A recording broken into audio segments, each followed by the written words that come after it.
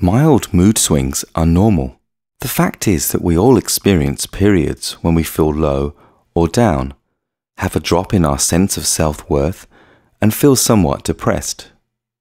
Having a bad day at school or work, an argument, or hearing some bad news can impact our mood.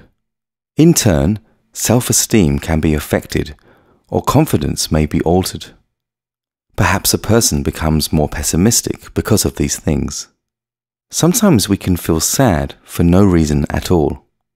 In most cases, people bounce back. However, clinical depression is very different. People with depression don't just bounce back.